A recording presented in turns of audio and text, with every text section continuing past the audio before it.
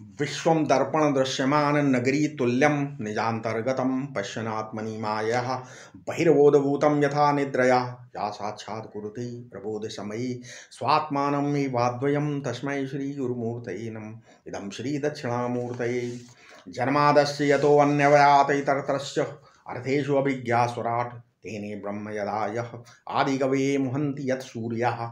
तेजोवारिमृदां यथा विनिमयो तत्र सर्गो अमृषः धाम्ना स्वयं सदा निरस्तकुहकं सत्यं परम धीमहि। वसुदेवसुतं देवं कंसचाळूर्मर्दनं। देवकी परमानन्दं कृष्णं वंदे जगद्गुरुं। नारायणं नमस्कृतं नरं चैव नरोत्तं देवीं सरस्वतीं।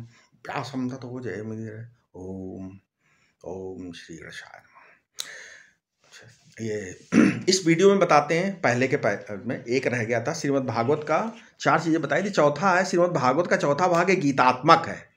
अब ये गीतात्मक शब्द से तात्पर्य गीता से नहीं है, गीत से है, गीत गीत, ठीक है? गीता मुख्यतः भगवान श्री कृष्ण और गौणता, उसके भिन्न भिन्न अवतारों द्वारा जगत के कल्याण के लिए अर्जुन, उद्धव है और आदि अंतरंग भक्तों को दिए गए उपदेश हैं और श्रीमद् भागवत के उपदेशात्मक भाग के अंतर्गत हैं। जैसे कपिल गीता, हंस गीता पट गीत शब्द का अर्थ है गायन। ठीक है? गीतात्मक का यहाँ गीत का अर्थ गायन। जब अंतरात्मा अपनी व्यथा, अंतर्वेदना, अनुभूति को अपने अंदर संवरण नहीं कर पाती, धैर्य का बाँध टूट जाता है, तब अपने आप ही किसी को सुनाने के लिए नहीं, जो उद्गार निकलते हैं, उसका नाम गीत है।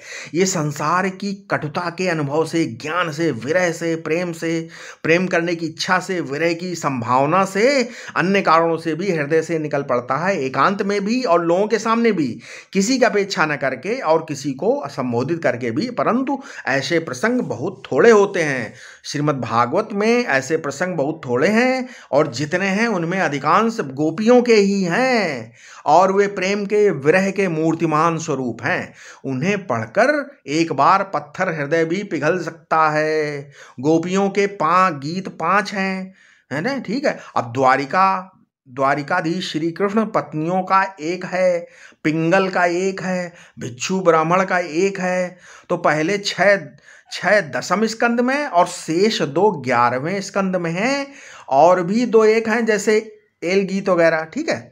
अब पिंगला गीत का निर्वेद गीत है, ठीक है? संसार की कटुता अनुभव से उसके हृदय में जो व्यथा हुई थी, वो उसमें फूटी पड़ी थी। जैसे मेरे मन से मुझे जीत लिया, मैं ऐसे पुरुषों से प्रेम करना चाहती थी, जो प्रेम कर नहीं सकते, स्वयं अस्तित्वहीन है, धन्य है मेरे मोह का विस्तार, मेरी मूर्खता की हद। इस तरीके के ये भागवत में ग्यारहवें स्कंद में दिया हुआ है, ठीक है? पूरा, है? अब दूसरा गीत एक और है एक ब्राह्मण भिक्षु का गीत है। वह सात्विक और सदाचारी होने पर भी लोगों से अपमानित और सताया हुआ था।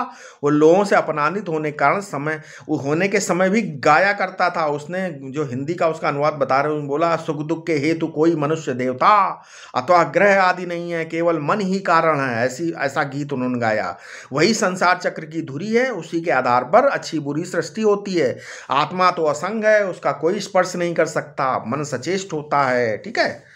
अपना स्वरूप मान लेने पर आत्मा बद्ध सा हो जाता है। सब कर्म धर्म यम नियम अध्ययन दान मनोनिग्रह के लिए हैं। इसके शांत होने पर सर्वत्र शांति। इस प्रकार का गीत है। हम ये हिंदी में तुमको बता रहे हैं।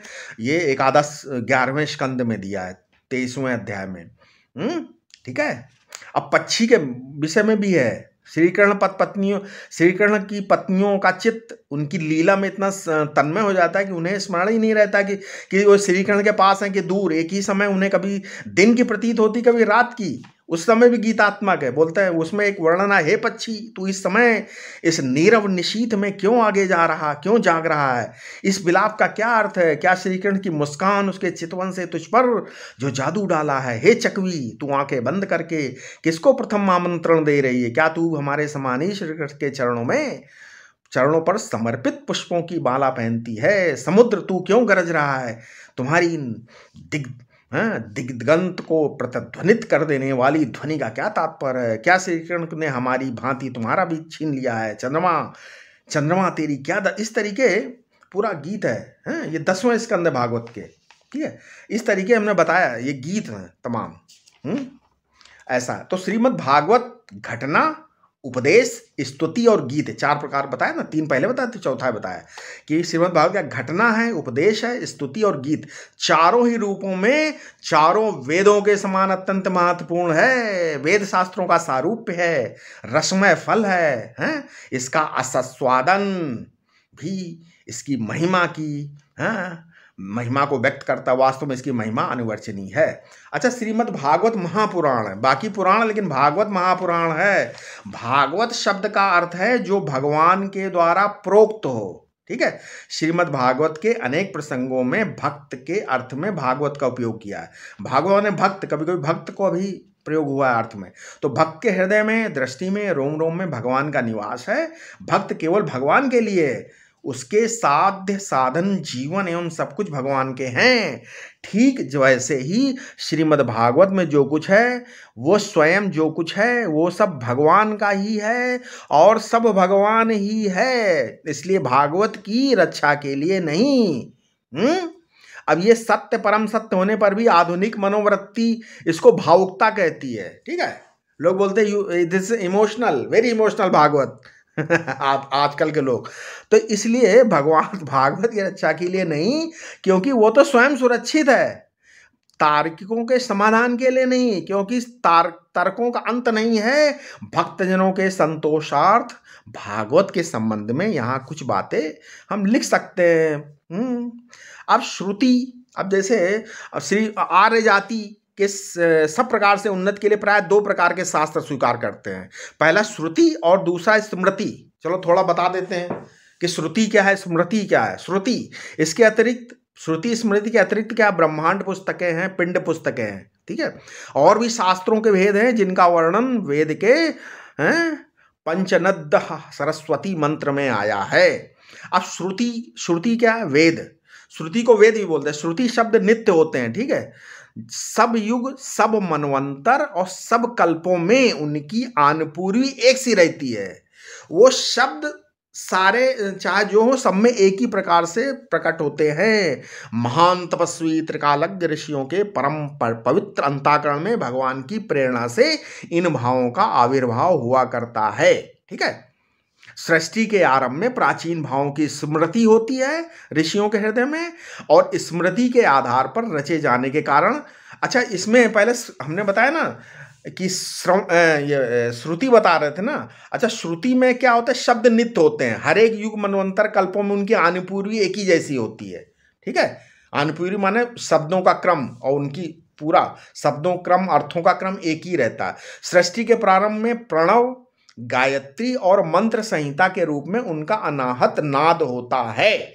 विशुद्ध अंताकरण वाले ऋषिगण उनका श्रवण करते हैं और पीछे अपनी शिष्य परंपरा में, उन्हीं शब्दों में उनका विस्तार करते हैं। और वेद शब्दता एक ही होते हैं। श्रुति माने वेद। वेद शब्दता एक ही होते हैं। शब्दशाह एक ही होते हैं। देश और काल के व्यवधान से उनमें अंतर नहीं पड़ता। ठीक है? वे परमात्मा के निश्वसित सांस हैं, शब्द हैं। अच्छा ये तो हो गया श्रुति स्मृति क्या है? दूसरे जो शास्त्र हैं, वो स्मृति कहलाते हैं। जैसे मनुस्मृति है, महाभारत, वो भी इतिहास स्मृति है। श्रीमद् भागवत स्मृति है गीता। गीता जो है, श्रीमद् भगवत गीता भी स्मृति है, ठीक है? महान तपस्वी त्रिकालज्ञ ऋषियों के परम पवित्र अंताकरण में भगवान की प्रेरणा से इन भावों का आविर्भाव हुआ करता है, ठीक है? शास्त्र ये जितने शास्त्र हैं, भाव रूप से तो सर्वदा एक ही रहते हैं, परंतु इनके शब्दों में आनपूर्वी परिवर्तित हो जाती है, ठीक है? स्मृति ग्रंथों में आनुपूर्वी शब्दों का जो ऊपर नीचे होना स्वाभाविक है, लेकिन श्रुति और वेद की आनुपूर्वी और शब्दों का क्रम एक ही रहता है हरेक युग में प्रत्येक जो भी हो, प्रत्येक मनवंतर या प्रकल्प में, महा, सब में स्मृति सेम ही रहती है, ये उनकी वेद के जो शब्द हैं, वो सेम रहते हैं। स्मृति में यद्यप अलग अलग हो सकते हैं, ठीक है, परंतु उनके शब्दों में आनपूर्वी परिवर्तित हो सकती है। सृष्टि के आरंभ में प्राचीन भावों की स्मृति होती है और स्मृति के आधार पर रचे के कारण उनको स्मृति शास्त्र कहते हैं। ठीक, समझ में आ गया? श्रुति और स्मृति हम्म? इसीलिए अब वाजने से ब्राह्मणोपनिषद में दिया अस्तमय तो भूत हाँ निश्वसितम तद यद ऋग्वेदो यजुर्वेदो हाँ सामवेदो, अथर्वरंगिरस इतिहास पुराणम। ठीक है? अब छांदोग उपनिषद में भी बोला बोला गया है क्या? इतिहास पुराणम पंचमम पंचमम वेदानाम वेदम, ठीक है? इसके अतिरिक्त संहिता भाग में भी अनेक स्थानों पर पुराणों का उल्लेख मिलता है। गोपथ ब्राह्मण में और अथर्वेद में ब्राह्मण ग्रंथों के साथ ही पुराणों का वर्णन आता है, जिससे ये स्पष्ट हो जाता है कि वेदों में आए हुए पुराण शब्द का अर्थ ब्राह्मण ग्रंथ नहीं है, वेदों की ही भांति पुराण भी भगवान के निश्वास कह सकते हो भाई। इन्हीं भावों को लेकर प्रत्येक कल्प में प्रकट हुआ करते हैं, ठीक है? इसलिए सर्वसाधारण को वेदों का व्यवहारिक ज्ञान प्राप्त कराने करने के लिए वेदों के ए, एक ऐसे भाष्य की आवश्यकता होती है जिसके द्वारा सर्वसाधारण को अपने लक्ष्य आदि को पहचान सकें। वेदों के उपग्रहण के लिए इतिहास और पुराण साधन माने गए ठीक है? इसलिए बोता इतिहास पुराणाभ्याम वेदम हम्म, सनुपम ब्रहेत ठीक है? तीन गुण, तीन भाव और विविध अधिकारियों के भेद से वेदों के अर्थ भी तीन प्रकार से होते हैं। अध्यात्म अच्छा वेद, थोड़ा वेदों के बारे में थोड़ा बता देते हैं, श्रुतियों के बारे में, ठीक है? श्रुति माने वेद। अच्छा वेदों के अर्थ भी तीन प्रकार से हो सकते हैं, अध्यात्म, अधिदेव और अधिभूत। भावों को प्रकट करने के लिए एक ही मंत्र में तीन प्रकार के अर्थ भरे हुए हैं। न केवल वेद ही, संसार की समस्त वस्तुएँ त्रिविध भाव से व्यास हैं, व्याप्त हैं अब मान लीजिए नेत्र है नेत्र। नेत्र शब्द के उच्चारण से अधिभूत भाव नेत्र गोलक।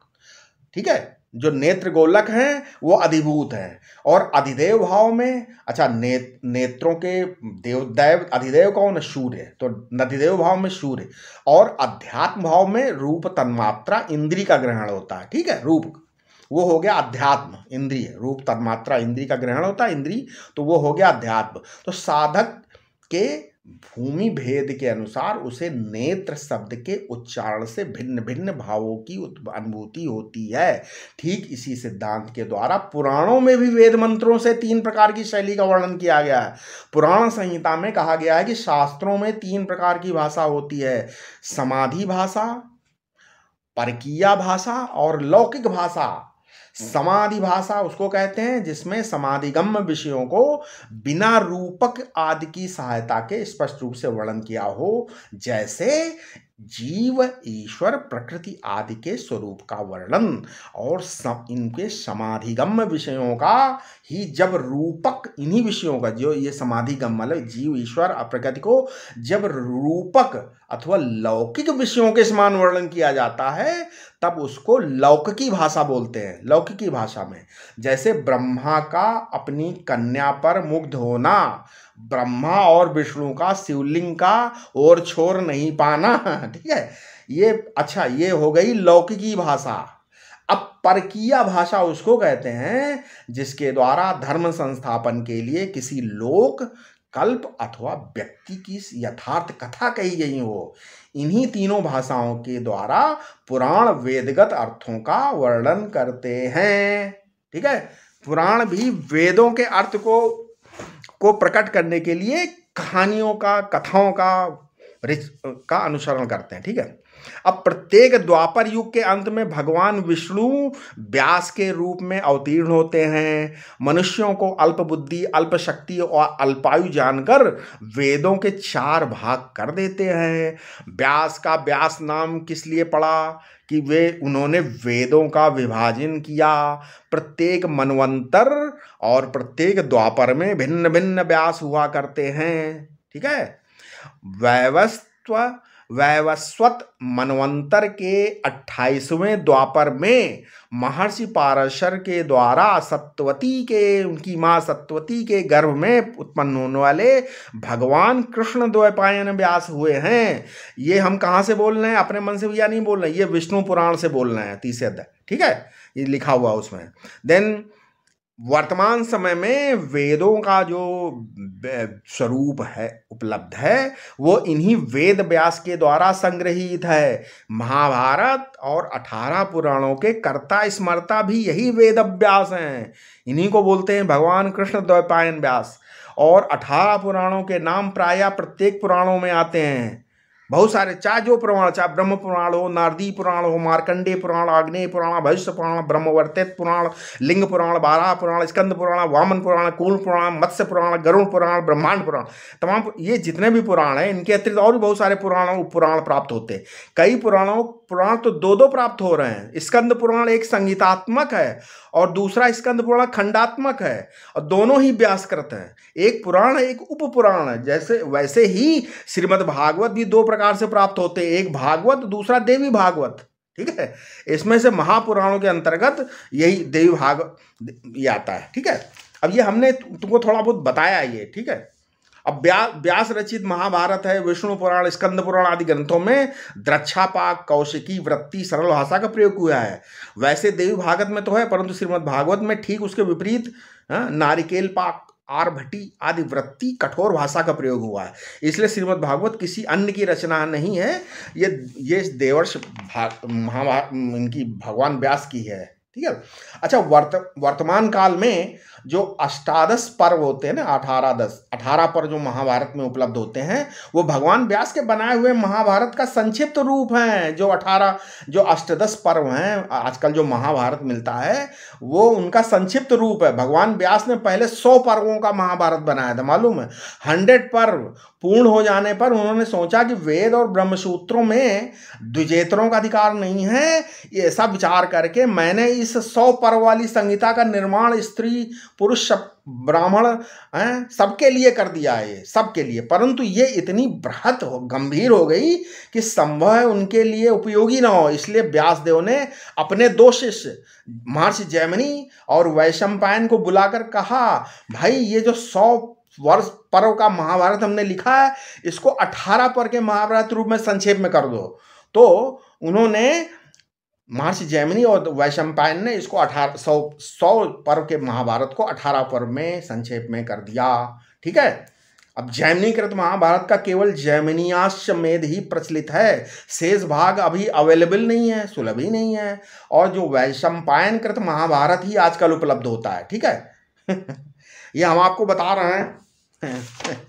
ये सब बड़ी स्टडी करके हमने ढूंढ के निकाला है कहीं कहीं से दोस्त बता रहे हैं आपको, ठीक है? समासो भारत इस युक्ति के द्वारा ये बहुत स्पष्ट हो जाती है, अष्टादश पर्व वाले महाभारत के पूर्व अष्टादश पुराणों का निर्माण हो चुका था, परंतु सौ पर्व वाले महाभारत के पहले नहीं हुआ था। मतलब पहले सौ पर्व वाला महाभारत लिखा व्यास जी ने, उसके बाद पुराणों का निर्माण हुआ, फिर इस अष्टादश महाभारत का निर्माण ऐसा मानो। इसलिए जहाँ पुराणों के महाभारत के पूर्व निर्माण का वर्णन आता है, वहाँ अष्टादश पर्व वाले महाभारत के पूर्व का वर्णन आता है, ठीक है? सौ पर्व वाले महाभारत का नहीं समझना चाहिए, यहाँ ये समझो। अब सच्ची बात तो ये कि महाभारत और पुराण एक ही व्यक्ति के बनाए हुए हैं इसलिए उनमें पूर्वा पूर्वा पर भाव पहले और पहले और पीछे कल्पना ठीक नहीं पहली बात तो। गीता में ब्रह्मसूत्रों का उल्लेख और ब्रह्मसूत्रों में गीता का, पुराणों में महाभारत का और महाभारत में पुराणों का उल्लेख, इस बात का अत्यंत स्पष्ट प्रमाण कि ये सब एक ही काल और एक ही व्यक्ति के द्वारा लिखे गए हैं, ठीक है? पहले के बने होने पर भी मार्कंडे अग्नि आदि पुराणों में महाभारत का सुनाया जाना और महाभारत में जन्मेजय की कथा आना ये दोनों इस बात के सूचक हैं कि यज्ञ के पहले ही परीक्षित को श्रीमद् भागवत सुनाया जा चुका था। ठीक है? ये सब चीज़ें मैं बता रहा हूँ। ये बात ध्यान में रखने की है कि भागवत शब्द की व्युत्पत्ति अच्छा भागवत शब्द की व्युत्पत्ति हम्म, दोनों ही प्रकार से हो सकती है। पहला भगवत्या इदम और भगवता इदम। इससे ठीक ठीक अर्थ निकल जाने पर भागवत शब्द के पूर्व देवी, अब जैसे देवी भागवत लगाने का कोई प्रयोजन नहीं होता है।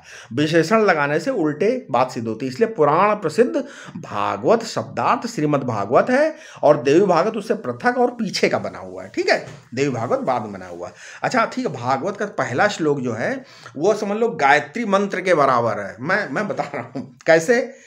श्रीमद् भागवत का पहला पहला जो है वो गायत्री मंत्र का कैसे प्रथम पद है जैसे सवितु है तो सवितु माने जन्मादस्य यतः फिर देवस्य स्वराट आ गया वहाँ पे वर्ण्य वरेण्यम हरगा में धामना स्वयं हम्म, सदा निरस्त कुहकम ये आ गया।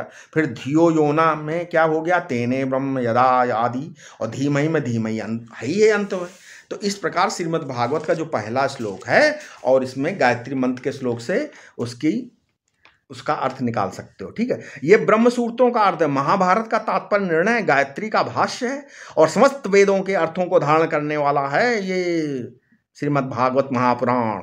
समस्त पुराणों का सार रूप है, श्री साक्षात सुखदेव जी के द्वारा कहा गया है। इसमें सौ विश्राम है, अठारह हज़ार श्लोकों का ये श्रीमद् भागवत नाम ग्रंथ है। अब ये सबके सब लक्षण श्रीमद् भागवत में घट सकते हैं। श्रीमद् भागवत पहले और अंतिम श्लोक में गायत्री का सार आ गया। ठीक है? इत, केवल कितने प्रमाण हमने आपको बता दिए? हम्म? दादी अच्छा इसके बाद और भी बहुत सारी चीज़ें हैं। जैसे मान लिया भागवत में आगे अभी हाँ बीस मिनट में चलिए बता देते हैं। भागवत में प्रतिपाद तत्व तो कौन से हैं? ठीक है? भागवत में दस दस विषय हैं। ठीक है जो दस विषयों में दस तत्वों का वर्णन, कैसे नंबर श्रीमद भागवत में दस विषयों का वर्णन होता है अन्य सभी उन्हीं के अंदर पहला सर्ग पहला आता है, क्या हुँ? हम्म? पहला मान लीजिए सर्ग हम्म? आश्रय तत्व हो गया, आश्रय सर्ग, विसर्ग, स्थान, पोषण, ऊति, मनवंतर, ईशानुकथा, निरोध, मुक्ति और आश्रय, ये दस विषय श्रीमद् भागवत में हैं ठीक है? इनमें प्रधान तो आश्रय आश्रय मेन अब ये श्रीमद भागवत के प्रतिपाद तत्व, अब देखा जाए तो श्रीमद भागवत के प्रतिपाद तत्व तो क्या है? स्वयं परमात्मा है। परमात्मा के नाम के सामने कोई विशेष आग्रह नहीं है, चाहे वो ब्रह्म कहो चाहे भगवान कहो भगवान का स्वरूप क्या है? भागवत के अनुसार इसका उत्तर देना बहुत कठिन है कि भगवान का स्वरूप क्या है। आप बता ही सक, नहीं सकते हो भगवान, भागवत, भगवान का स्वरूप क्या है। भागवत पूर्ण ग्रंथ है, उसमें भगवान के विविध स्वरूपों का वर्णन हुआ। निर्विशेष का भी वर्णन है, सविशेष का भी वर्णन है, निराकार का भी वर्णन है, साकार का भी वर्णन, निराकार, साकार, जो जैसा अधिकारी हो, वो वैसा ही भगवान का रूप भागवत में प्राप्त कर सकता है। ये भागवत की विलक्षणता है। ठीक है हाँ? अब श्रीमद् भागवत में इसमें, लेकिन सबसे, जैसे हमने बताया, दस विषय हैं, सर्ग विसर्ग, स्थान, पोषण ऊति मनवंतर ईशानु कथा, निरोध, मुक्ति और आश्रय। लेकिन इनमें सबने प्रधान आश्रय है, आश्रय। आश्रय शब्द का अर्थ जीवों के शरण लेने योग्य भगवान अथवा व्यक्त, अव्यक्त, आभास और निरोध का अधिष्ठान, निरपेक्ष साक्षी ब्रह्म है। उसी आश्रय तत्व की उपलब्धि के लिए अन्य नौ विषयों का वर्णन हुआ है, ठीक है? जितने ये सर्ग विसर्ग आदि का वर्णन, जो भी भी भगवान की अनंत महिमा और ब्रह्म के स्वरूप का बोध कराकर अविद्या को निवृत्त कर देना ही श्रीमद् भागवत का उद्देश्य है। ठीक है? यो तो श्रीमद भागवत के प्रत्येक स्कंद में आश्रय का निरूपण किया गया है, तथापि सगुण साकार रूप आश्रय का दसम स्कंद में और निर्गुण निराकार रूप आश्रय का बारहवें स्कंद में विशेष प्रकार से वर्णन हुआ है, ठीक है? श्रीमद भागवत के अनुसार आश्रय का स्वरूप क्या है? यह विवेचन करने के पूर्व भारतीय सनातन धर्मानुगत संप्रदायों के द्वारा निर्णित आश्रय विचार करना आवश्यक है। हम्म अब अद्वैत संप्रदाय के प्रधान आचार्य भगवान शंकराचार्य कहते हैं कि सगुण और निर्गुण, ठीक है, दोनों प्रकार के वर्णन मिलने पर भी समस्त विशेषण और विकल्पों से रहित निर्गुण स्वरूप ही स्वीकार करना चाहिए, सगुण नहीं, ऐसा शारीरक भाष्य में दिया हुआ है, ठीक है?